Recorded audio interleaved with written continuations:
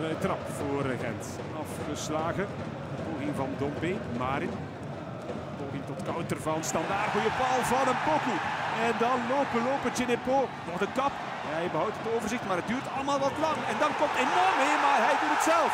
Ginepo. De verrassing in de Luikse basis.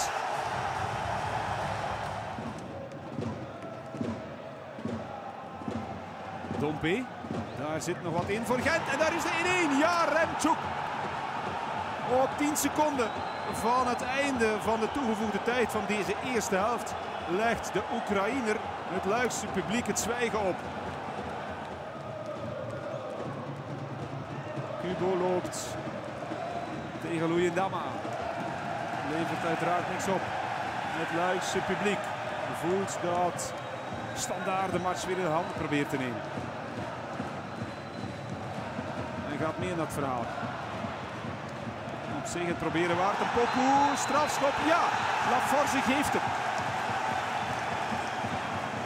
Een Poku ging over het been. En dan doet hij City de beweging. Hier nog eens de aanleiding van het doelpunt. En Cavanda, ja, die leek toch een voetje buiten spel te staan. Cavanda gaat door. Poku laten.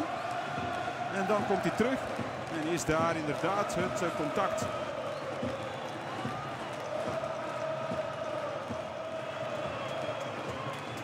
Het wordt Paul José Mpoku versus Colin Kolzemans. Bijna een uur ver. En dan daar kan weer op voorsprong komen. Ja, 2-1 de goal. Paul José Mpoku. Bastien. Carlinhos. Met wat geluk opnieuw Bastien. Zoekend naar Emon. Emon voor 3-1. Nee, hij doet het niet. Ja, toch!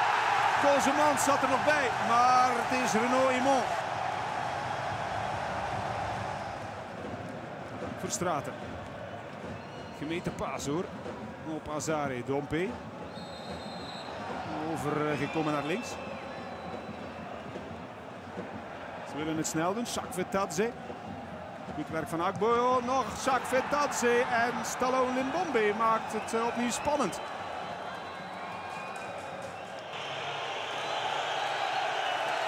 Einde van de match. La Forge maakt er een einde aan. En Michel Predom keert op uh, triomfantelijke wijze terug.